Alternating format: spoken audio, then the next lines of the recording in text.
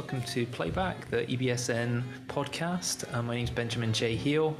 Um, this is the latest episode. Unfortunately, there's been a, a, bit of a gap between this episode and the previous one, which was another video of the first panel at our uh, EBSN uh, annual conference uh, in 2021, which is held over the weekend of October the 29th to 31st. And um, yeah, it was our virtual first virtual conference, and uh, we thought it went pretty well. And so today I'm just going to introduce the second panel of the conference, which was titled Art and the Beat Generation. And chairing this panel was Peggy Pacini, with Estibaliz Encarnacion Pinedo acting as the moderator. The speakers um, on this panel with Beatriz Cordero uh, with a paper called Abstract Expressionists and the Beat Generation, Daria Baryshnikova, and Art Language Radically Revised, and Tanguy Harma and his paper Counterculture, Counterpower, Disengagement, the Art of the Beat Generation. So eh, please enjoy and remember to check out the website for all the new updates, um, book reviews, and um, interviews and publications that have been um, added to the to the website over the past uh, few months. Okay, great. Hope you enjoy and see you at the next podcast.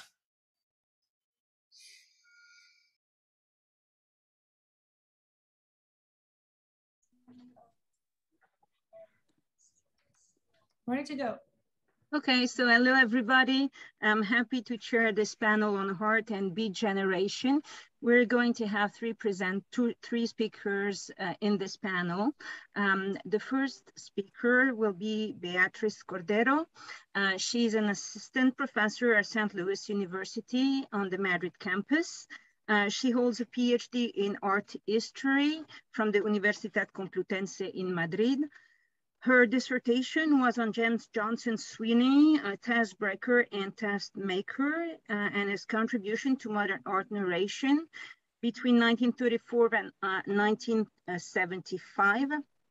Uh, she is the author of many articles on Sweeney as well, and she curated an exhibition in Madrid entitled The Irascibles Painter Against the Museum and um, she will be, um, her, the title of her presentation, unless it has changes, One Language, Two Destinies, Abstract, Expressionist, and the Beat Generation. So um, this is your time, Beatrice. Thank you, Peggy. Thank you so much. Um, everybody can see my screen? Can you see my PowerPoint? Not yet. I mean, I can't see it, so most probably not. Okay. Not yet. Sometimes it takes a little bit. Okay. Because we try. We tried. Now I can see it. Okay. All right. So let me put the clock. All right. So, well, thank you so much for having me here today. Um, I am very happy to be part of this conference because um, I don't know much about the beat generation, but I am very intrigued and I want to learn um, so I come with a learning uh, spirit, but I'm also very intimidated. Um, I just learned that you have been doing this for 10 years, this conference. So um, I think that this is going to be a, a, great experience for me.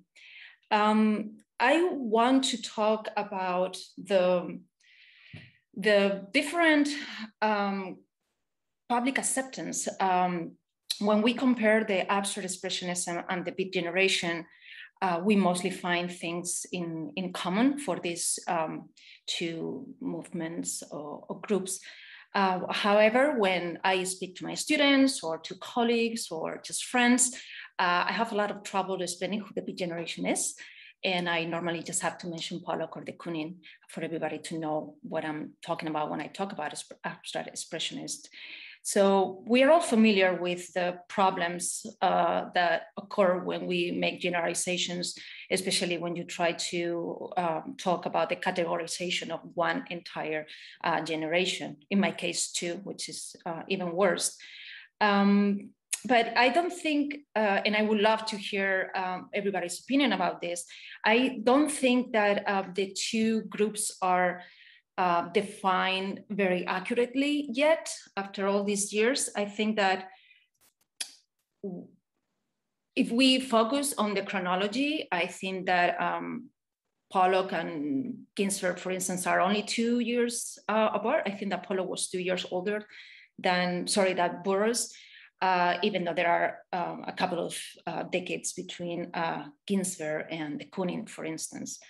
Um, however, if we attend to the cultural work, and that's what I want to focus, uh, we realize that it was the year 1948 in which everything really started happening. Uh, that is the year that, of course, um, the phrase uh, Beat Generation was created. And it is also the moment in which our critics and curators and museum directors start noticing, um, I will not say noticing, uh, really making um, a, a, great deal about what it was happening in, in the art world, uh, especially in, in New York, of course. So um, if, if we uh, sorry, um, if we consider the two generations, they did have um, more things in common, that things that brought them apart or that differentiate them, right? Like we all know about how they were trying to uh, stir things up, uh, um, both groups, how they were reacting to this very conservative society. Um, they were living in this uh, highly hypocritical, uh, uh, um, hypocritical uh, society, that it was very conservative uh, with these double standards, etc., etc. They were all very interested in other cultures, uh, either Native Americans or philosophies coming from the East. They were uh, sharing um,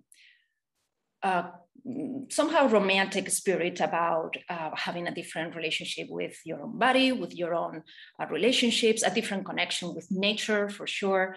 Um, they were, at least in the beginning, rejecting materialistic and, um, and capitalism culture. And they, both generations wanted to transcend um, with their art and using uh, both um, spontaneity and improvisation and some kind of physical component in their creative act. So I don't really know what differentiates these two generations. If, you know, when we see the most important aspects, what we see is that they have a lot of uh, things in common.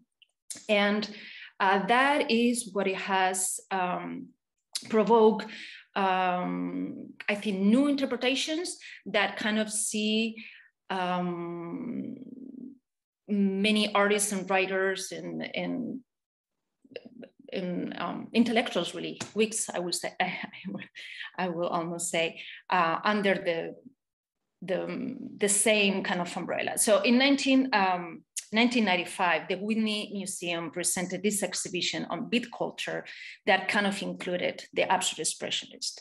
Now, the exhibition um, stirred quite a criticism. Uh, many people did not really accept this um, conjunction between the two generations. And um, I am really intrigued about if um, most of the reasons were really in finding differences between these two groups or because the art, the visual art created by the, by the beatniks are or is not really considered in the same realm, the abstract expressionist. expressionist. And by that, I mean that um, all, all the uh, beat generation writers painted all of them. Uh, all except uh, Ginsberg, who was an excellent uh, photographer. Um, most of them showed um, their art. Uh, of course, Ferlinghetti spent 60 years painting in Burroughs' uh, show at Shafrazi's gallery. Um, but their work has not been shown together, or it was not shown together until 1994. Um, which I think is a pretty late uh, date for, for such an event. Now, um, I, I, I, am, I am under the impression that when we talk about the visual work created by the um, beatniks, we have people have the tendency to see it in a very anecdotal way. There is not a lot of um, a lot of criticism, or at least in comparison with the New York School, uh, about the beat uh, artist. There is some controversy actually um, when placing artists like uh, Helen Frankenthaler or Larry Rivers. Larry Rivers, I feel like he um, he's in this very maybe uncomfortable but also very rich uh, thin line between abstract expressionism and pop, and I think that most people will be very comfortable considering him a, a beat generation painter. Uh, with Helen Frankenthaler, it's a little bit more complicated. Um, I think that culturally speaking, most people place her uh, in the milieu of the beat generation, but then her art is normally considered to be um, first generation abstract expressionist. Um, so I think that this particular topic will be uh, very interesting for further discussion. I want to advance um, a little bit more into this um, uh, public acceptance. And um, I believe that what it was crucial in the um, recognition of the abstract expressionist, and I mean, everybody um, is familiar with this story, is that after uh, World War II, the, the visual rhetoric absolutely changed and it was used by uh, US government and uh, US institutions to present a very democratic vision of America. This uh, quote that you are seeing on my screen is, is, um, is, uh, is, is an extract from the speech that President Eisenhower gave uh, on the occasion of the 25th um, anniversary of the inauguration of the Museum of Modern Art in New York, in which he says, and I quote, freedom for the art, sorry, freedom of the art is a basic freedom, one of the pillars of liberty in our land, or people must have an impure opportunity to see, to understand, to profit from our artists when artists are made the slaves and tools of the state, when artists become chief propagandists of a cause, progress is arrested and creation and genius are destroyed. Let us resolve that this precious freedom of the arts, this precious freedom of America, will day by day, year by year, become even stronger, even brighter in our land. Um, I feel like this was in 1944, and it was at that moment in which um, not only President Eisenhower, but also the museums uh, and the media, of course, understood that they had this uh, amazing opportunity to present um, the very um, um uh, modern art as a very advanced um, characteristic of American culture. Uh, Life magazine and Time magazine play a fundamental role in the spreading and dissemination of, of abstract expressionist, expressionism. And as it is very well known, it completely catapulted the, the uh, career of artists like Pollock with very um, flashy um, uh, headlines like Jackson Pollock, is he the greatest living painter in the United States? This was an article published in 1949. And um, uh, this is another one uh, after uh, Pollock passed away. I think this is uh, 59. And Time, uh, Time magazine um, also published uh, an article in which Pollock was called um, Jack the Dripper as a reference to his dripping technique, dripping oil on the canvas, etc., etc. And what all these wonderful photos and, and um, you probably are familiar with the videos, etc., etc. What they did is they presented an a totally uh, stereotypical image of this uh, macho personality that it was very in fashion also um, in the movies and in, in literature. This is the this stereotypical image of the frontier man, the um, audacious uh, American man that is very, very tough, um, very brave, and that is breaking um, or is groundbreaking the, the, the arts, right? That, so we have these images that were projected And when people think of Pollock, when people even think of Rothko, which was a very complicated man, and even de Kooning, uh, to just name a few, um, we do have this, uh, we have a very different image than when we think of uh, Kerouac or uh, Ginsberg or Ferlinghetti or, or whoever. And I think that the media and the uh, artistic institutions had a lot to do with this. Uh, lastly, um, around um, 1950, uh, well, in, in, 1948, Peggy Guggenheim returns to Europe and with uh, all the avant-garde uh, art that she had bought previous to the war and the art that she collected in the United States, including Pollock, she uh, opens um, the, the museum in, in Venice. And in 1948, she exhibits all this American art in Venice, which is the uh, beginning of this reception of abstract expressionism in, um, in Europe. Together with that, uh, the American museums very quickly realized that um, they realized the need of uh, of using this um, this kind of art as part of the Cold War rhetoric, as I was saying before, and I believe that is um, very interesting that Americans um, abstract expressionism is shown as such as a school uh, in Europe before being considered a school in the United States. Um, this image, which is the last one that I'm going to show today, it's of an exhibition called the New American Painting, uh, which was a show that arrived to New York, organized by the International Program of the Museum of Modern Art.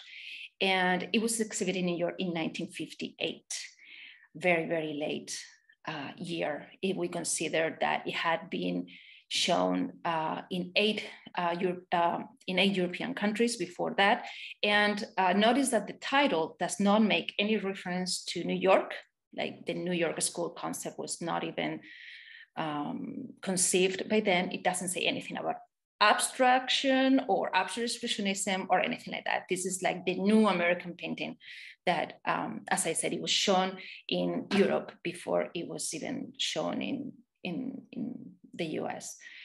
So um, I think it's when we compare these two um, generations, I think that is very uh, difficult to make a difference or to make a cut between the work that they were doing, both, both groups, and the cultural work that their art produced.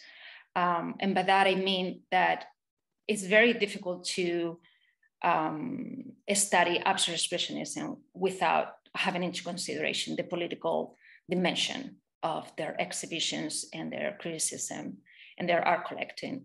And it happens, mm, you know, in a in an opposite way when you study the art of the beat generation. I think that it has still uh, it drags this um, uh, characterization as counterculture that it can i mean uh, i think that there is another speaker who's going to talk about this and i'm very very intrigued about uh, what is going to be said but i think that even though both generations were in theory at least in the beginning showing or trying to do the same countercultural work um, because the abstract expressionist also wanted to create new, a new artistic form it also uh, wanted to react against the the mainstream uh, artistic world.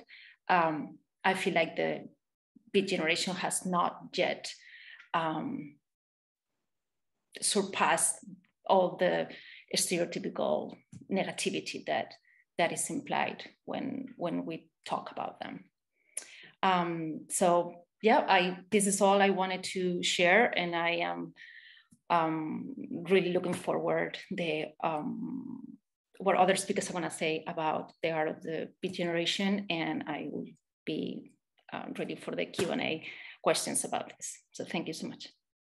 Thank you so much, Beatrice, for your um, presentation of this encounter or reading, a parallel reading of uh, the beat generation and, and, the abstract expressionist. And probably uh, there'll be questions about this issue of mediatization commodification of art and uh, literature, perhaps, and this idea of being new or being recognized afterwards. So I leave that for the Q&A and um, I will uh, just introduce Daria uh, before she gets ready, as you get ready and share um, your PowerPoint. So uh, Daria um, is a doctoral candidate at the RWTH Aachen. Um, her PhD deals with the representation of mind in cut-up literature uh, through a comparative study also of Russian, British, and American text and um, our primary sources, among our primary sources are, of course, uh, Gysin and Burroughs. Um, she also was, or she also worked as an editor, had the Russian Heart magazine. So I'm sorry, Daria, I won't be able to pronounce the name of the magazine. Um, and her interest also goes to the relations and connection between visual art and literature. And um, uh, if I account by the abstract that you have sent, the panel's gonna resonate very much from one uh, presentation to another. So I, um, it's your turn, uh, Daria. Thank you, Peggy, very much for this uh, introduction. Let me. Screen.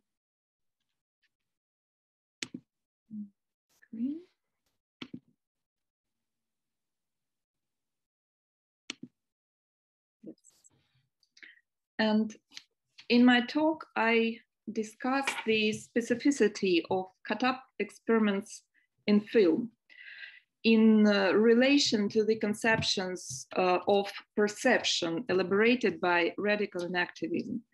And I will first uh, talk a little bit about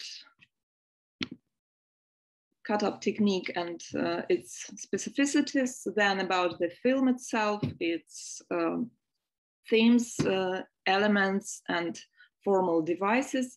And finally, I suggest some way of interpretations. These film experiments continued Burroughs' collaborations with various artists that explore the, the, the um, explore the possibilities of cut-up technique. And uh, as the main characteristic of cut-up technique uh, is uh, the randomness in the processes of selection and or combination of the materials in a work of art. And therefore, the distinctive features of a cut-up work are narrative nonlinearity and a lack of coherence in the syntactic structure. So the nuances of the existing meanings of the work fragments are destroyed and the new structures are imposed. In contrast to conventional narrative in literature or also in films, which are responsible for continual temporality, causality, and distinctive characters, cut-up narrative disrupt and deconstruct them via not attributing voices, refusing to explain transitions from one place or character or time or even sentence to another. In constant uh, distraction and uh, shifting the focus of attention. Meanings here are not to be constructed from stable representation, but are to appear from arrangements of unstable markers, changing moments here and now, appropriating already existing blocks of information in conjunction with memoirs or in projection of imagination. So the question I investigate is if the film can depict not just a story of someone experiencing something somewhere or the what of a story, but uh, can mediate the very experiencing of being in a world or the how of a story, any story, and to produce images that are not always connected to representation and to provide the viewers with the possibility to create a story, any story themselves. I would say that the film cut-ups not only reflects upon the various forms of contemporary perception and imagination, but constitutes them as well. Now I suggest to watch a little fragment from the film to refresh. Hello. Good. Yes, hello. Where are we now? Yes. Good. Hello. Thank you. Yes, oh. Hello. hello. Yes. Yes, Hello. Yes, hello. Yes. hello. Hello. Yes. Hello. Yes, hello. Yes. Yes. Hello. Hello. Hello. Yes, Yes. hello. Hello. Yes. Hello. Hello. Yes, hello. Yes. Yes. Hello. Yes, hello. Yes. Hello. Yes. hello. Hello. Yes. Hello. Yes, Yes. hello. Yes. Yes. Hello. Hello. Yes, hello. Yes, Yes. hello. Hello. Yes. Hello. Yes. Yes, Hello. hello. Yes. Yes. Hello. Hello. Hello. Yes, hello. Yes. Yes. Hello. Yes, hello. Yes. Hello. Look at that picture. Hello. Yes. Hello. and so on.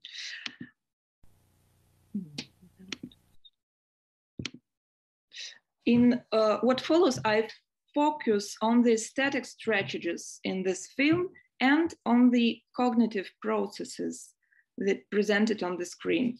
So I will argue that the subject of this film is the variety of modes of perception.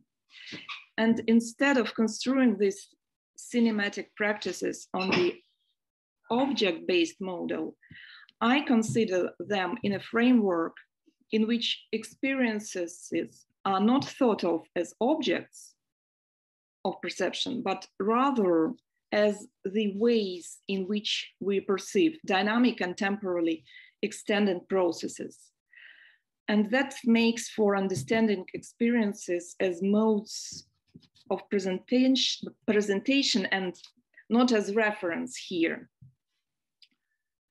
Uh, the cut-ups, the film features on the story level a series of images that may articulate Burroughs and his collaborators' ideologically motivated aims, namely a wish to reveal normative rules of social interaction, to show the forms of language control and its preconditioning constraints, culturally formed and socially shared. To achieve this goal, they, in this film, also, they demonstrate a range of cultural stereotype, prejudice, and knowledge accepted as self-evident. Burroughs considered the use of cut-up technique to be a liberation from the control imposed by words. Cut-ups, according to him, um, showed how contemporary culture manipulates a people's consciousness. And language is seen as uh, the means of control that locks us into conventional automated way of thinking. Therefore, cut-up technique was a way to counteract this control through new unexpected combinations and meaning constructions, thereby showing that all the so-called unconditional truths were cultural constructs. And it was also this interest in the effects of film on the mind that was one of the thematic centers in the cut-ups. As uh, Ian Sommerville noted, I quote, films impose an external rhythm on consciousness, changing the waves in the brain that are individual like fingerprints, end of quote.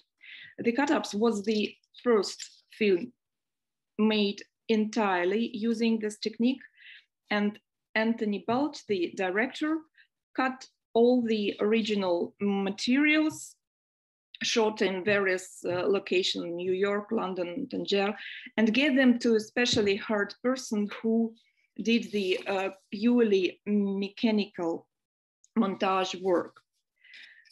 and the goal of the montage and the cut-ups was for the viewer to have time to grasp what is depicted, but not to understand the content in full details. In a situation of a short appearance of visual stimuli, the cognitive system needs about 80 to 100 milliseconds to process them in order to cognitive synthesis to form as a result of neural stimulation. If during the same time the second stimulus appears, it retrospectively affects the reconstruction of the first. That is, the cognitive synthesis of the first stimulus is mixed with the elements of the second stimulus. And Burroughs himself suggested uh, that uh, cut-ups made visible or exposed psychosensory processes and recreated the continual fragmentation of sensory experiences. Such uh, processes in any case always occur and the consciousness of any person is, uh, I quote here, the opposition of what is happening outside and what you think about it, end of quote. So the film, as you can see and remember, consists of short frames mounted very precisely in duration, but without much attention to the content of the shots. The scenes are also structured accordingly to the length on the reel and not to the course of the narration. The only principle consistently applied in the film is the removal of the coherent linear narrative structure. Storytelling here has been both multiplied and problematized. Among the images, there are many possible potential stories like Gysin wandering around Paris, or Burroughs uh, looking as dream machine, and so on.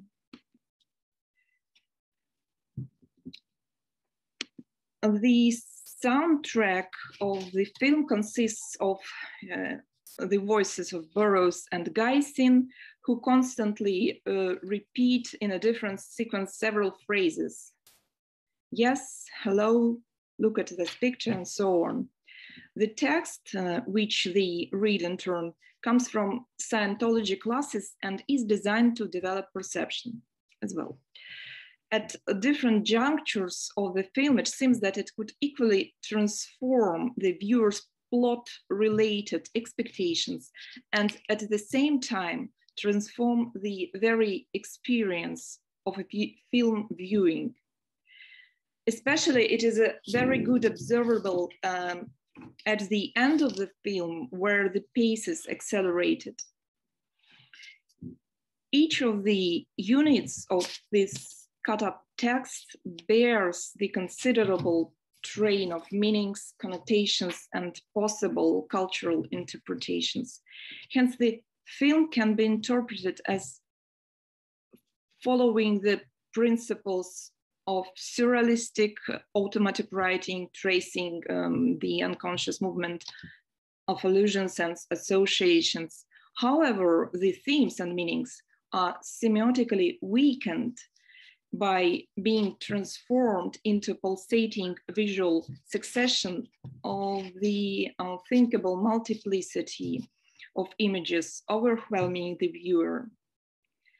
The film requires the viewer to experience and as a result to interpret it in a different way in such a multi-level interpretation as a play of light and movements uh, devoid of rational logic and um, conventional narration. Instead, the relationship of the audience with the film could be based of the assessments of the nature of experience. Instead of consuming a text or image, there is a literary, physically, physical experiment of experience of involvement, participation, and reconstruction. And to summarize, the cut-up works are difficult to perceive as a coherent text, they have no consistent development. But nevertheless, in the process of perception and because of emotional, physical, even physical involvement in experiencing a rhythmic and semantic repetition of visual images, viewers can form their own stories based on the cues directly or indirectly follow from what is happening on the screen and triggering a sequence of perceptual, cognitive, and emotional processes. And uh, the cut-up problematizes the way in which a texture of meaning is created from combinations of images, words, and sounds. Uh, so the film may be interpreted as a dramatic reenactment, an attempt to represent with the moving images the nature of experience that, according to radical enactivism, is, I quote, a kind of non-conceptual embodied engagement rather than a presentation of a world which is conceptually saturated, end of quote.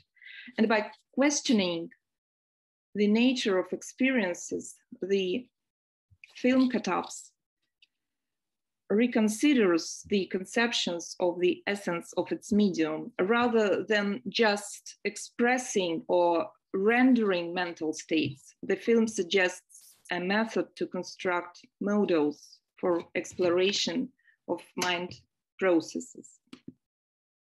Thank you.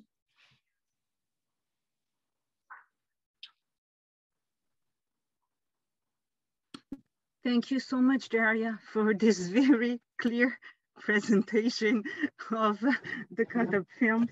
Um, and also an entry into the perce into perception, which also is a link to eventually the first um, the first uh, speaker. Um, so now um, I'm introducing Tanguy. Uh, Tanguy, I'm so happy to see you back. And also, so um, Tanguy uh, was educated in France and in the UK. He received his PhD in English in 2018 from Goldsmiths, and I was there when he did.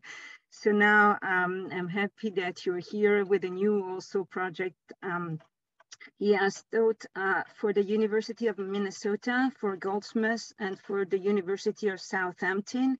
And he is about to take an appointment in the Department of English Language and Literature at Istanbul Kultur University. Um, in the meantime, uh, he continues his exploration of the writings of the counterculture, and he is currently completing a first uh, research monograph uh, entitled Paradox of Thanatos, Jack Kerouac and Allen Ginsberg, From Self-Destruction to Self-Liberation, um, to be published by Peter Lang um, uh, next February. So um, Tanguy uh, is going to speak about counterculture, counter counterpower, disengagement, and the art of the beat generation.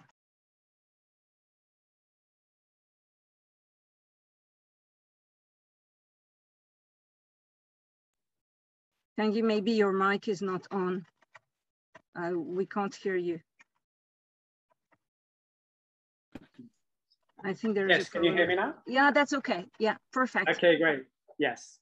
Um, I was just saying that, yes, disengagement, the art of the beat generation, this, um, this is actually uh, the title of, um, of an essay by Kenneth Rexroth um, from 1957, which I'm going to uh, explore uh, in, this, in this presentation. Um, there is a case to be made about what actually brings the beats together under the same label. And although vastly heterogeneous, the beat movement finds its common denominator, arguably, in a shared disagreement with the conditions of contemporaneous reality.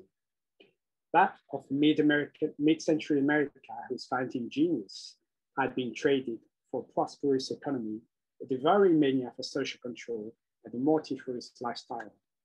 This reality, often mechanized and standardized, was devised by the beats as told in Spiritless, a reality which they thought jeopardized the integrity of the self and liquidated the singularity of human existence. This disagreement with the modern predicament, the mainstay of beat writing, is what brings a darker tonality to many other works. It carries a sense of disappointment, repeatedly reaffirmed, with the national ideals of liberty and of the pursuit of happiness, reconfigured in the beat imaginary as a quest for transcendence. The beats identified as the moral failure of these ideals stems in great measure from the regulations and restrictions forced upon the individual by the historical agents of power, be they economic, social, or cultural. Viewed as thoroughly alienating, they are thought to tame the intuitive energies of the self and to hamper action, whether individual or collective. And ultimately, these constrictions thwart the very promises that America vowed to deliver in the first place. Although fundamentally heterogeneous, the majority of beat literary works manifest in their own ways a will to escape social conditioning and reclaim one's own authority over that of society. A recurring fixation for beat writers, which they shared not only with the existentialists, but also with the transcendentalists a century before them. As John Tytell contains Naked Angel, Naked Angels, quote, the beats had to find new ways to remind them, to remind their culture of the dignity of self-reliance, and to provide an Emersonian awareness of the tyranny of institutions. Execrating the worldly, dreading the implications of control, they chose to consecrate the whims of the individual. While most beat writers do not so much execrate the wealthy than seek to subvert its profanity, the works foreground a rebellious impulse against the institutions and the conventions of daily reality. They view these conventions as mediocre, vitiated and self-oppressing, infringing more or less insidiously upon the elemental liberty of the self. This emphasis on the singularity of the individual character and on the unlimited resources of the self is key in beat writing. It typifies the desire to retrieve from ethical, ontological, and even epistemological authenticity, which is seen as under attack in the hostile environment of the post-war era. This urge is predicated on the search for radical subjectivity and self-fulfillment of the main ideologies of the 20th century from totalitarian systems to rampant commercialism have crippled. Kenneth, Kenneth Rexroth, in his essay, Disengagement, the Art of the Beat Generation, identifies the struggle to reclaim control over the potency and the legitimacy of the self in the adverse conditions of the post-war era as a hallmark of the beat movement. For Rexroth, any individual in his right mind has no other choice than to withdraw, to withdraw from social reality in order to preserve the integrity of the deeper self. And this is what he says here. The youngest generation is in a state of revolt so absolute that its elders cannot even recognize it. The disaffiliation, alienation, and rejection of the young has moved out of the visible spectrum altogether. Conceived as a corollary to the conditions of 1950s America, such a type of revolt is viewed by Rexroth as not only legitimate but necessary. Crucially, it is implemented by an act of disengagement from socio-historical reality, through which the individual may create a space which is in principle preserved from the most alienating aspects of the latest historical developments of the post-war moment. Rexroth quote, it is impossible for an artist to remain true to man, true to himself as a man, let alone an artist, and work within the context of his society. This strategy of disengagement may be envisaged as an attempt to eschew the matrix of post-war modernity, an insurrection against the temporal through which the access to a more private sense of transcendence may be re-established.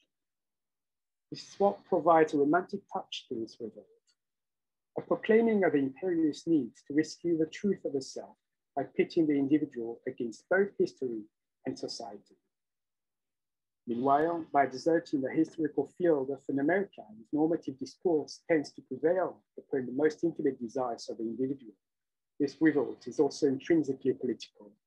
It enables the individual to effectively consume the American myth of self-reliance with his or her own alternative system of values, encapsulating anti-conformism, radical autonomy, and self-sufficiency, which all run counter to the status quo.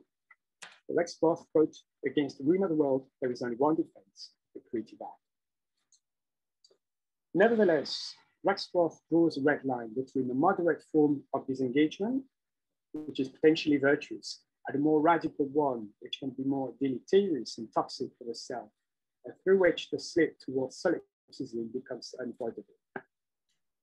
Hi, uh, Tanguy, sorry, sorry to interrupt. Um, mm -hmm. There seems to be a problem with the connection, and the sound sometimes is not coming out very clearly. Uh, do you happen uh, to have a micro um, headphones with a microphone? Um, I think microphone, yeah, it's integrated to um, uh, to the laptop. Yeah, so you don't have head headphones with a mic.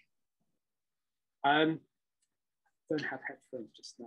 No. I mean, the sound is just sometimes there seems to be some kind of uh, problem with the connection, and sometimes the sound okay. is coming I think, out. I think it's the connection. The connection is not very good here. Yeah. Yeah. Okay, so if you, yeah, if you maybe if you slow down a little bit, uh, it might be better. Okay, because sometimes when it's okay. uh, breaking, okay, breaking try, up, it's Okay, good. Thanks. Sorry again. Sorry for uh, interrupt. It's okay. okay. Um, so back to um, back to Rexroth and his idea of, of disengagement. Um, with um, the fact that uh, there are two forms of different, uh, two different forms of, of disengagement. Um, one more radical um, and which is certainly more uh, deleterious uh, and toxic for the self. Uh, for Rexroth, quote, the disengagement of a creator who as a creator is necessarily judged is one thing, but the utter nihilism of the emptied out hipster is another. Between such persons, no true enduring interpersonal relationships can be built. And of course, nothing resembling a true culture or at of men with each other, the work, the loves, the environment. The end result must be the desperation of shipwreck, the despair, the orgies, the ultimate cannibalism, ultimately the cannibalism of a lost lifeboat. I believe, he says, that most of an entire generation will go through voluntarily, even enthusiastically. Here, Rexroth recognizes that the deliberate self-alienation from society, as romantic as it may be, fosters a radical form of individualism that can quickly turn into a nihilistic deviance, a pitfall viewed as a major threat for the counterculture.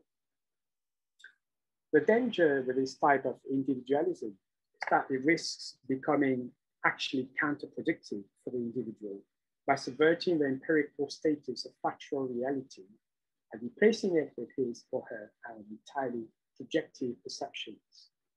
A reality which becomes more and more self-legislating, which is established not through the facts of a communal reality, but by one's own fancy.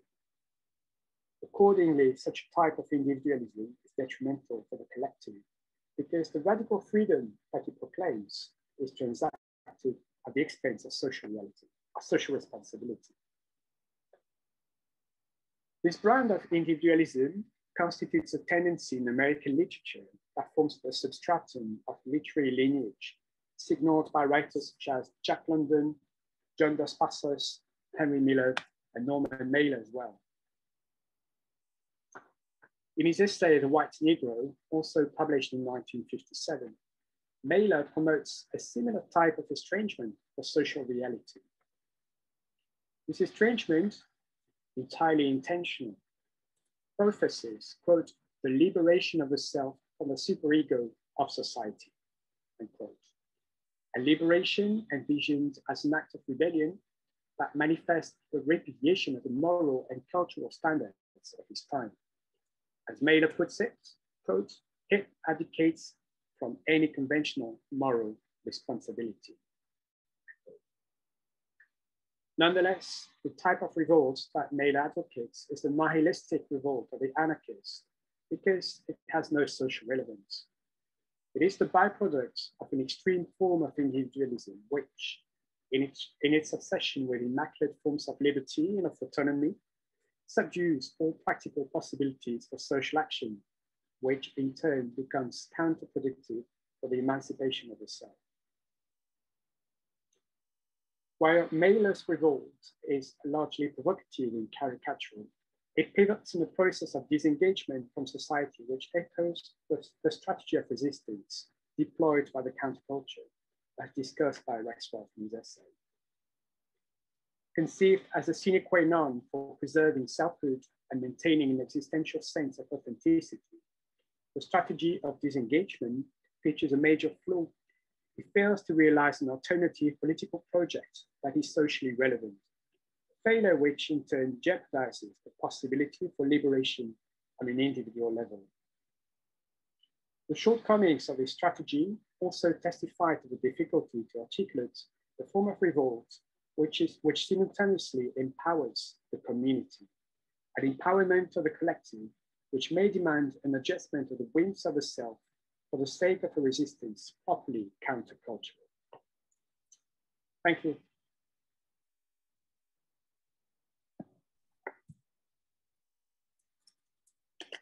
Thank you, Tanguy, for your presentation. In fact, sometimes it was, um, everybody seems, uh, you have reactions uh, from uh, the participants, Paulina. Um, thank you uh, the, to our three speakers for, um, in fact, this very um, uh, in, um, well, your three papers actually resonated pretty much. And we moved, well, probably the, the central idea to the first two and also to your, um, Tanguy, was the idea uh, of perception, but also we moved from Daria's um, idea of enactivism uh, reenactment to your uh, disengagement uh, and Rexroth's disengagement. So I think we just moved into these 50s and 60s, giving us a quite um, um, a good picture of uh, maybe what was um, the well the state of mind and what spurred actually art and the beat art and um, the beat generation. So um, I know that uh, from the chat that Carol had um, uh, questions. Uh, if uh, you do have question, please uh, raise your hand in uh, with the reaction tool so that um, the, I mean, you can be given um, uh, time to speak and ask your question. And then eventually I will just go back and ask my own question as well. Uh, maybe we can start with Carol since you had this, uh, uh you wanted to speak. Uh, Carol, uh, yeah, go ahead. I think Estíbaliz, is that you or that unmute the, the mics and the video there. she can do? Okay, you can okay, do that. Okay, I got unmuted. it's sometimes difficult. Um, I'm asking a question for Beatriz. Um, she mentioned that the um, all of the beat writers, pretty much to a person, had painted or had done some form of visual art. Um, my question is, is uh, has she found that many of the beat artists have also you know, been serious writers, um, or at least writing and, you know, creative ways. Uh, the one that comes to mind for me is Ira Cohen, who uh, gained his fame as a, a filmmaker, but had actually preferred to be remembered as a poet. And this is for Beatriz. Yes. Hi, Carol. Thank you for your question. Hi yeah, I am. I am aware. I was just um, trying to call attention on the on the on this prejudice that I um, Daria also talk about. I feel like I was not talking so much about like this obscure members of the beginning generation by no means. Uh, Kerouac was an excellent painter and he took it very seriously. It was not something that he did on Sundays. It was not a Sunday painter. he really cared about his painting, his um, art, his visual production. I find very compelling. Um, I'm just thinking uh, in the in the exhibition that I was mentioning in NYU in 1994, uh, some of his paintings were considered to be too good, and people did not believe that it was his work, which is completely absurd. Uh, he also, as you know, was very meticulous about everything that he did. He kept very interesting diaries, and there is uh, one particular painting uh, called "The Eagle" uh, that he record, like when he did it and what he was thinking, and he was what was he intending, etc., etc. And people still was commenting on the show like, "Oh, this this is too good. It can't be a Kerouac." Because he is a writer. And so like this is just an anecdote, but it happens also with Burroughs' uh, photographs, which are, I think, unquestionably wonderful. And that he, again, uh, was very prolific. He kept um, extensive archives of all his work. Uh, and um, I'm, I don't think that one thing is taking away the talent from the other discipline by no means. What uh, the only thing that I wanted to raise is that why the visual work that the uh, beatniks did hasn't reached the um, consideration that I think is obvious for all of us that it should have reached, uh, uh, um, obtained already. And um, my thesis is that even though both uh, groups or generations, the abstract expressionist and the beat generation, were dealing with the same issues and they were having very similar lives. Um, the beat generation is seen still, sadly, as these outcasts, uh, almost criminals, uh, obviously drug abu- uh, addicts and drug abusers. And so, well, the abstract expressionists were alcoholics. It's not really that far away um, you know, Pollock and de Kooning's moral life and relationships is, is nothing to be especially proud of. So why are the beatniks always considered in like, you know, under this moral lens? Um, and I think it, it really has hurt the public acceptance of, in particular, their visual art because it's normally compared to the abstract expressionists. I, I, think I agree with you because you know my study of the the artists I've become acquainted with and tracking down their works. Um, uh, the beats are an interesting phenomenon in that there is such an outpouring of all aspects of culture. It's not just a literary movement, but it, has been viewed that way.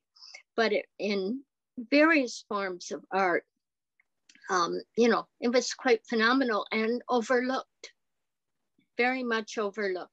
Um, the abstract expressionists, you know, gained that recognition um, because of the way I think the art world works, and especially art collectors. They have a tremendous influence on who gets recognized and who doesn't. I want to thank you for your presentation. It was thank very you. interesting. Thank you for your question. You're welcome. Yeah, I think that what you have raised is the one major issue is that basically um, the problem was that it's not that they were not um, doing a lot of, I mean, they were not experiencing in a lot of uh, genre or domains uh, that they were in fact photographers, visual artists, poets, fiction writers, uh, etc., performers, but that um, the issue of categorization basically um, just put them in a cluster.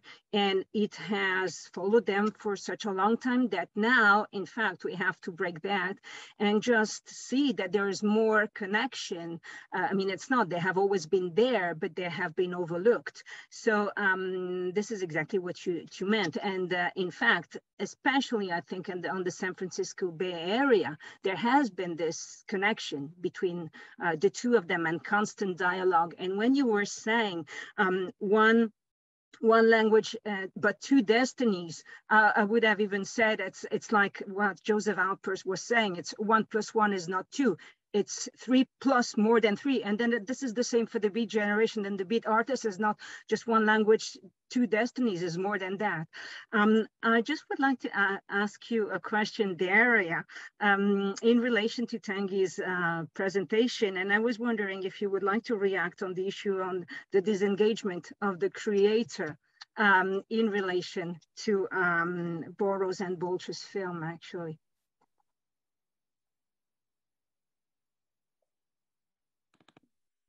Uh, yes, thank you, Peggy. It's a really big issue because um, as uh, Burroughs or Gysin uh, motivated their use of cut-ups, they uh, suggested that uh, they that one should make cut-up mechanically to eliminate this individual factor and this is uh, just um, chance principle which connects various fragments. But um, as a result, as we see their text, we see their films, we can find that this text bear some personal um, personal involvement. I, I'm not sure about disengagement of the creator here.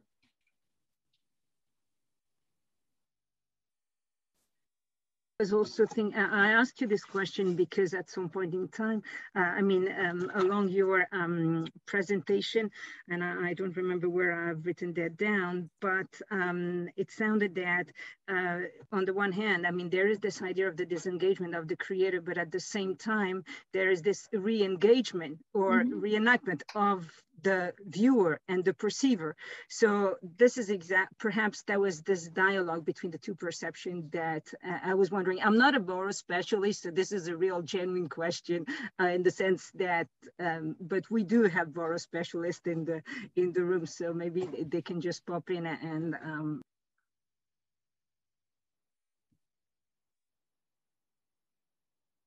or or maybe if there are um, other questions that you would uh, perhaps like to ask um, to the presenters, to the speakers. Uh, Jim, would you like to read that, uh, read uh, me to read your uh, question in the chat or can you just, or do you wanna ask your question yourself? Maybe the mic is not functioning. Yes. I'll ask it. Yeah. Hello. Okay, go ahead, Jim. Hello. Well, I'll skip the video. Okay. Um, yeah. Is there anywhere in the cut-ups a use of dissolve or mixing or even subliminal cut-ins? Because I understood it, it was all just jump cuts. You know, just you know, like, I think it was exactly a foot of film from four different reels, and just and there were four buckets, and the lady had to just took them one after the other and stuck them together. Um, so there was no no really fancy Hollywood merging or whatever they call it, dissolve, I think is called, is one of the things. And it was done. And the film editor apparently was a lady who was employed under virtual slave conditions because neither Balch or Burroughs wanted to do that kind of thing. I may be wrong here. I don't remember seeing anything in cut-ups that suggested a sophisticated uh, film editing technique. Yeah, someone. Uh, you are absolutely right. Uh, there was a special lady who did uh, this montage work, and uh, she cut all the reels in very uh, exact fragments. And after that, they uh, were pasted together just mechanically. There were various plots, but they were put together mechanically in order to eliminate this um, narrative development. And yet, what's what's intriguing is the uh, voiceovers, the, the, the dialogue, is not cut up. It, it's just repeated mm -hmm. throughout, and there's no relationship to any of the randomness of the um, the four films that were used. Uh, it's just it's just overlaid in a kind of um, yeah a texture rather than having any coherence to what was on the screen.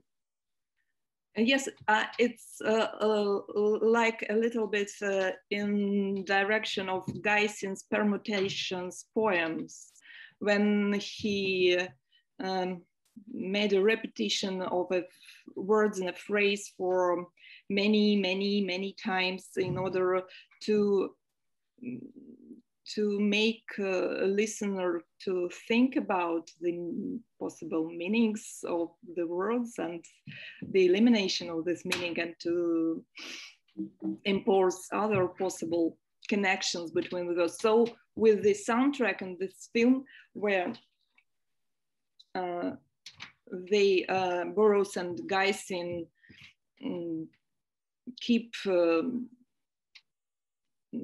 saying these uh, words from Scientology classes.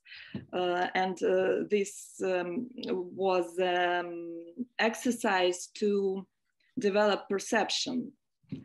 So as, as I suggested that the film subject is, there is modes of perception. So the soundtrack works in this direction.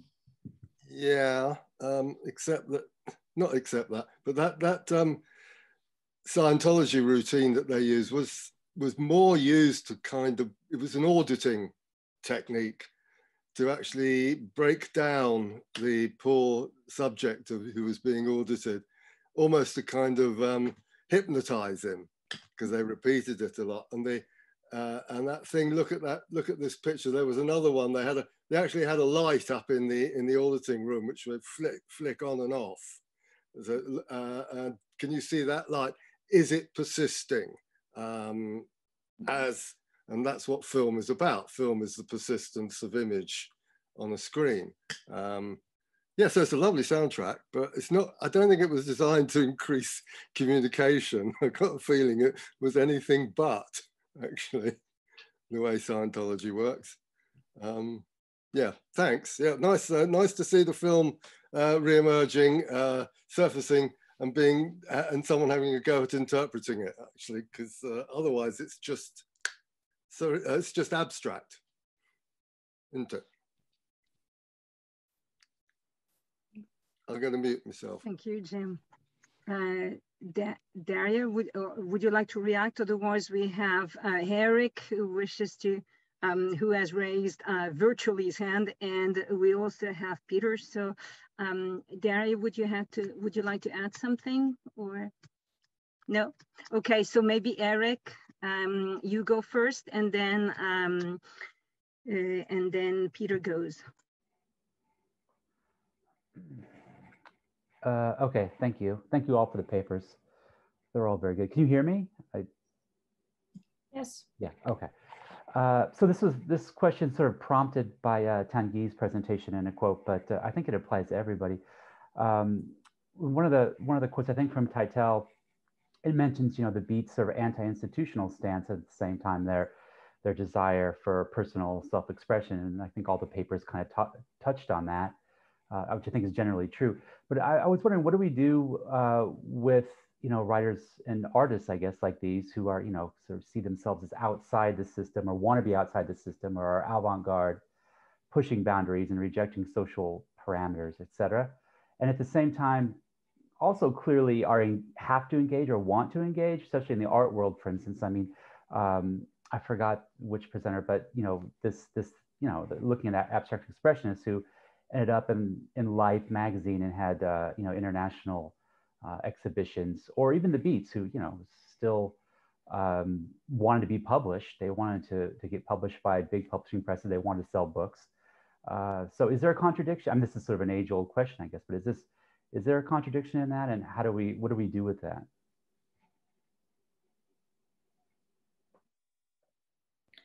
Um, I don't know who would, who wants to answer the one million uh, dollars question uh, I don't think that there is an answer to, to this human contradiction. Um, it just, um, in the case of the abstract expressionist in particular, it's very interesting because they all said that they were racing against the system. They were not interested in what it was happening in the museum. But uh, in my, my first slide had a photograph of the Irascibles, who was this um, group of artists who sent, signed this letter to the New York Times, uh, publicly, publicly uh, protesting the conservative views of the Metropolitan Museum. And it was one of the, and it was published in Life magazine. It was the, the one event that really uh, spearhead their art to, to media and to the public. Um, so they were saying, you know, we are the counterculture, we, we are the advanced artists, but at the same time, as you said, they want to be seen, they want to uh, make a living, they want to pay the rent like everybody else. Um, and with the with the beat generation, it happens um, this, the same thing. I think that it happens. It's a contradiction that pretty much every artist have to live with. They want to be free to create whatever they want, but at the same time, they want to be recognized. I mean, the Nike advertising that um, came in the 90s by Burroughs, it's uh, it was kind of like a slap in the face for many because, um, but I don't know, it's a, um, I would love to hear what other speakers have to say. I think that is a contradiction that we all have to live with. Yes, um, I think so as well. I think so. it's a major contradiction. Um, it's, a, it's a very, um, it's a very tough uh, question, um, this one. Uh, but then I have a feeling that maybe from the avant-garde um, or from very experimental movements or from soft writing or, or art expressions, um, maybe one of the one of the only possibilities would be to contaminate society little by little, uh, gradually, and maybe this is not the view of some of the, some of the members of these, um, of these movements. Um, it's still something that can be done. Uh, I'm thinking of Ginsberg, for instance, who had a, um, this kind of um, this role of, as, a, as a spokesman of, of, a, of. Um, when many, um, many writers, many beat writers were not really interested in, in, in this channel between the, the counterculture and the more uh, more generic, um, like the, the general um, members of the, of the public. Uh, but he did it, and then that was the, from the 50s onwards. And um, in the 60s, certainly there is a little bit, a little bit of Ginsberg in the, in the civil rights movement, etc. So uh, there might have been uh, an influence of, of the beats. Uh, but at the same time, many people were not interested in that. Um, possibly uh, Deleuze was interested in, in other forms of um, maybe impacting society at, at a very different level, uh, but not, not in the social uh, scale directly, I believe, um, and, and others. Um, so yes, it's, it's full of contradictions, I would say. Sorry, may I add something else very quickly? That when comparing these two groups, I think that there is also, I, I want to make this clear that there is a really big difference between the abstract expressionists and the and the uh, beat generation. Uh, when you think of artists like uh, Barnett Newman or Clifford Still, who were um, not only artists but they were also representatives of their own, of their own work. They had very very clear um, direction in the way they wanted to be shown, in the one in the way they wanted their paintings to be hung, for instance, or in which kind of room, etc., etc. While um, thinking of George Corso, for instance, who is a very good painter, very he has a very decent uh, corpus. Uh, his work is basically impossible to trace now because uh, he was selling so cheap um, or just giving away his art directly that we basically don't have documentation. So there was a difference between the way they um, wanted to enter the mainstream or not between the two groups.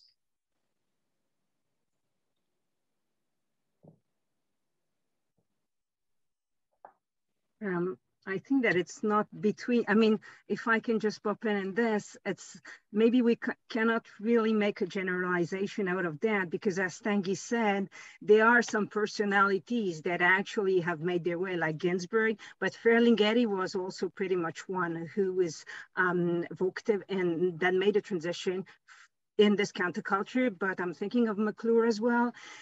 Um, so maybe not all of them, as just that, in fact, the, there is this connection and maybe the, this disengagement, uh, but um, as a group, they are so different. Some, some of them did enter and mediatize or use the media for that in their own way, and others did not, and uh, like her work. Um, so, um, but I just wanted to pop in there. Uh, Daria, do you have, um, do you want to pop in with with that question answer to Eric or um...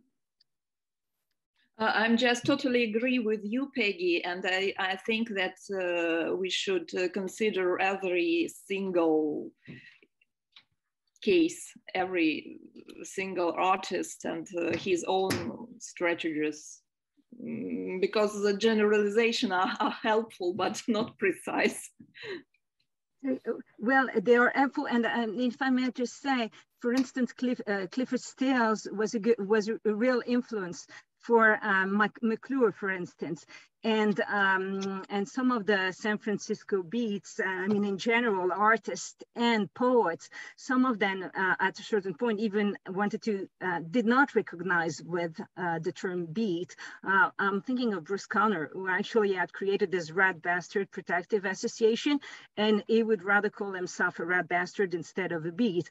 But at the same time, he shared their ideology as well. So you see, within the group itself, there is this complex um, relationship to art uh, and to aesthetics, to uh, politics and to culture, which is really ambiguous. But that's what makes the Beat Generation, that's, that's why we are here also today. Um, Peter had a question, maybe if you wanna just um, um, pop in, Peter. The... Mm-hmm. Yes, I have a question to Daria.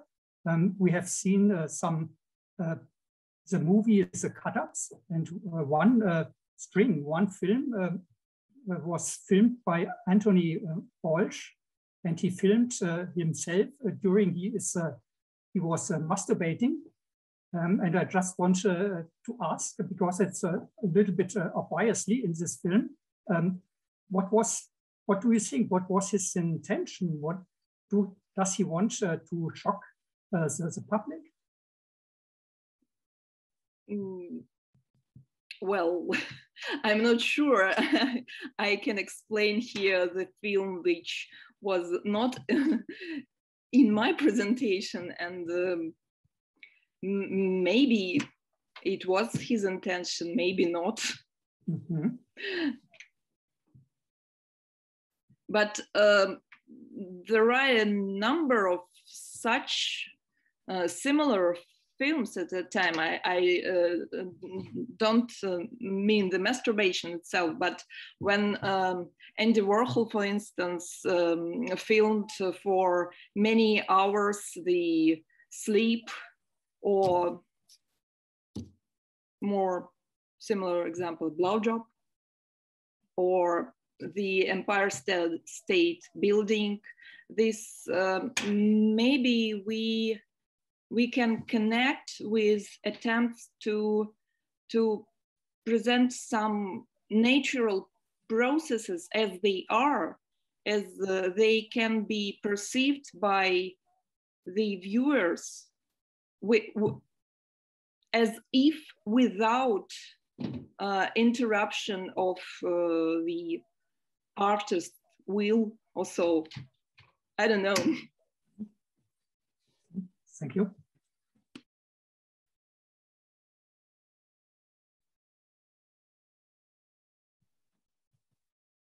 Are there um, any more questions to um, our speakers or for our speakers?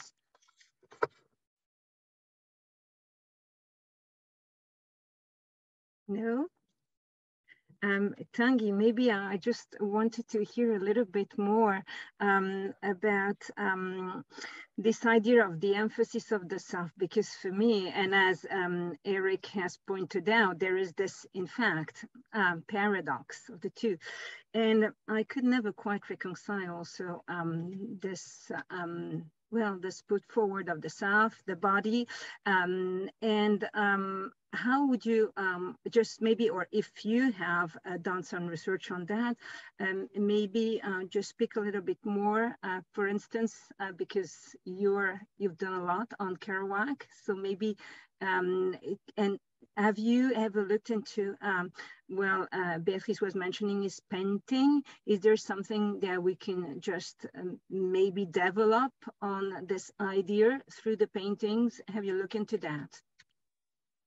Um, through the painting, not uh, not particularly, but um, the idea of, of, disengagement to preserve um, selfhood in a way, because um, this was very strong, for instance, with uh, with Kerouac, with Ginsberg. Um, first of all, the idea is that the environment is seen as um, hostile and uh, preempting the, uh, the wish, the will, and the the desires of the self. Um, but these desires are articulated through from a quest uh, for transcendence. Um, and for Kerouac, for instance, the cultivation of this transcendence can be can be only private. Um, it is um, it is something which is so um, deeply personal um, that along his career he developed a way of a means of, of reaching reaching a form of transcendence which is more in tune with a, with a deeper, a deeper self, which is also inspired by the American traditions of, um, of transcendentalism, for, for instance, I'm thinking of Emerson. Um, and for, for Kerouac, you, you've got this major um, movement which is going inwards.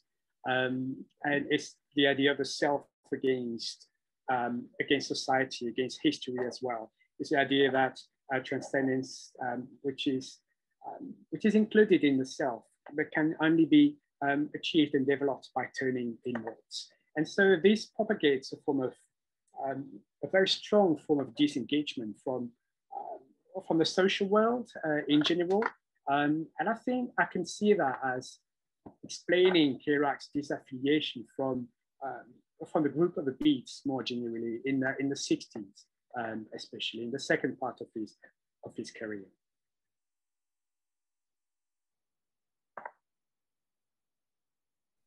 Thank you, Tanguy.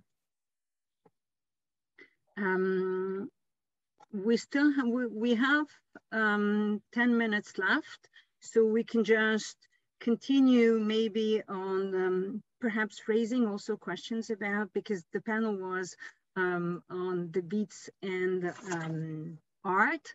So um, Carol started engaging uh, these questions. Maybe um, if there are no longer any questions, specific questions on um, the um, presentation per se, uh, maybe we can just continue with the 10 minutes that we have left, maybe engage uh, with your reaction or your knowledge about this um, uh, this interaction, intermingling between, uh, I would say, um, poetry as uh, in, in, a large sense, uh, poetry and fiction and art, not perhaps just painting, but visual art in generals, and maybe see how just they resonate or how um, they co I mean, artists collaborated, painters collaborated um, in time within the movement. Carol. Yeah, Carol, the floor is yours. Because, oh, sorry. Uh, okay, I'm sorry, at least I'm unmuted. Um, I'm not addressing that in particular, but because of the, the work I've done on who the beat art artists were, those were the themselves primarily as artists. Uh, even if they did a lot of other things, they thought of themselves as visual artists. Uh, i would like to know the names that our panelists have come across. I haven't heard much uh, mention of the artists themselves. So um, the ones I, of course, have studied are um, um, Aaron Matson and Bill Heine in particular, and also Bob Branaman, and um, and excuse my senior moment, Arthur. I'll, I'll get back with you. Arthur is uh, still living and an artist in San Francisco, or in Oakland rather. And um, Bob Branaman, as far as I know, is still living. Um, did you come across those names? Did you, uh, have you looked at the works of other artists? I mean, we, I think we're just uncovering a lot of this information. Um, so uh, sharing it would be very nice. Thank you.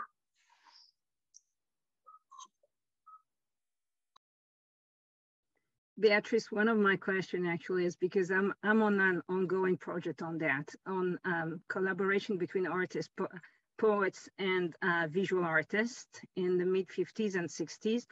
And one of my questions, and this is um, perhaps you can answer that, um, is their connection to the East, uh, to the East Coast artists, West Coast artists with East Coast artists, especially New York School and Fluxus artists, so the Rutgers University um, group. Um, George Brecht, for instance, um, and uh, their collaboration between poetry and visual art, but also poetry, performance, and visual art, and how these, I mean, the first that they did was early, well, mid 1950s, so how they in fact resonated in the West Coast, or if they did, and through what means, etc. So I wondered if you had looked into some of these, I mean, um, uh, artists uh, and could perhaps just see any connection with what has been said in terms also of uh, hoponymous consciousness. Daria mentioned that, fragmentation, randomness, the use of different forms like uh, the I Ching or the concept, the Chinese concept ma, these things that are in the art of this um, Eastern um, art, I mean, East Coast artists, and that have shifted or have been I don't know about what kind of translation, if it is, so this is a real question, shifted to the West Coast artists and beat poets and San Francisco Rena Renaissance group, actually.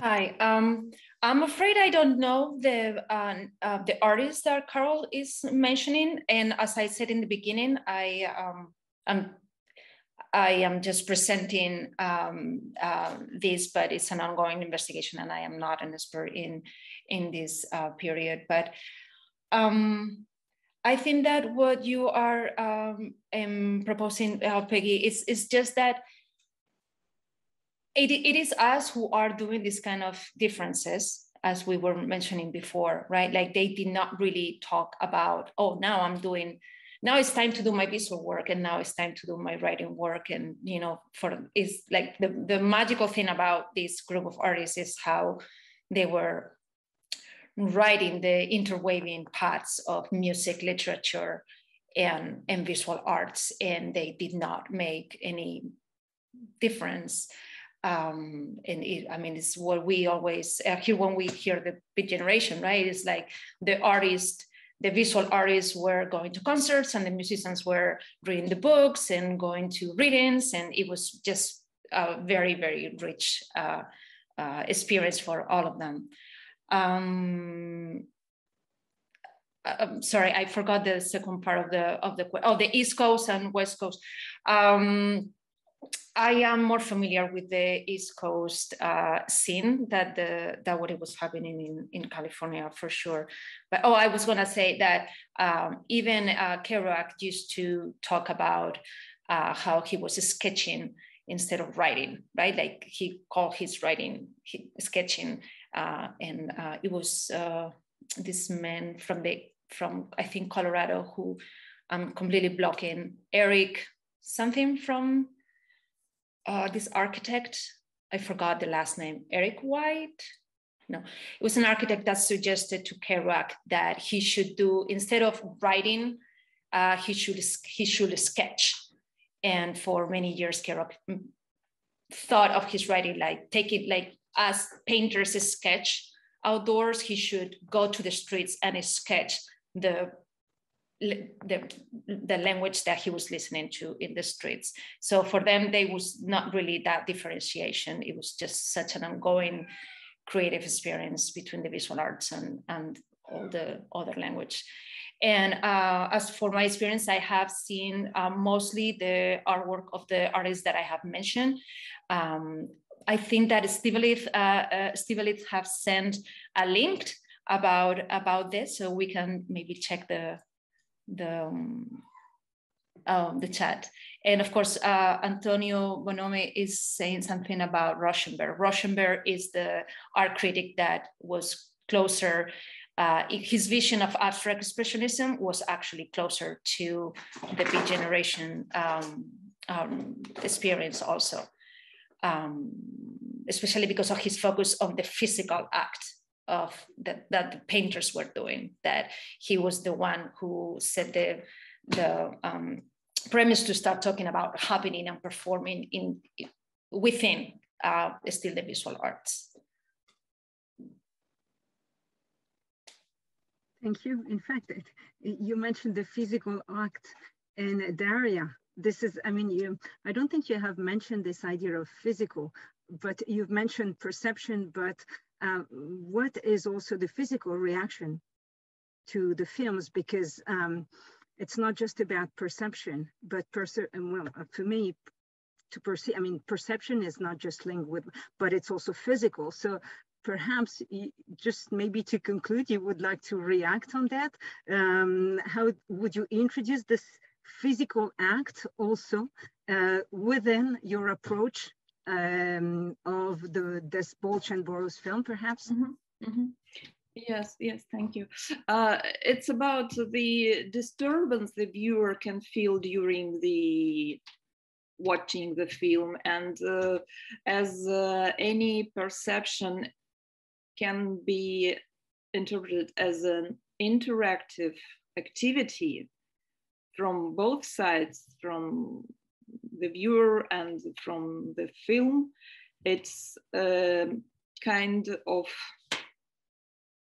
exchange of emotions, of feelings, something like this in this direction, I think. And also, also we uh, should uh, take into account the environment in which this experience occur. I mean, it depends when you uh, watch the movie sitting at home or you are in the cinema theater. And it also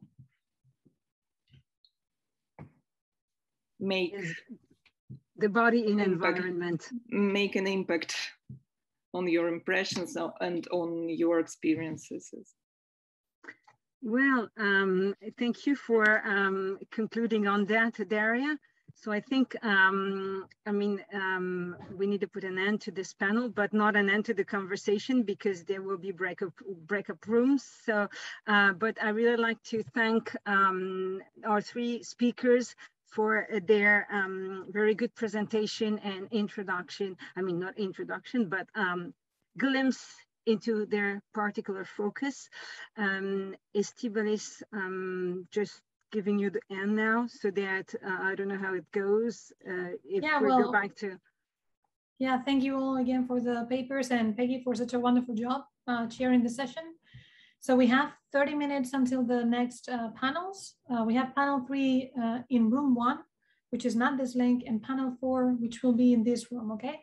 So if you want to stick around and for panel four, you can simply stay in the room and I'll bring you to the break room, breakout rooms. So you have more space to continue the discussion if you want. If you want to take a break, you can of course take a break. We're human. and then be back at five, either in this link for panel four or the other link uh, for panel three. Okay. Thank you all for um, being here. Thank you so much. Thank you.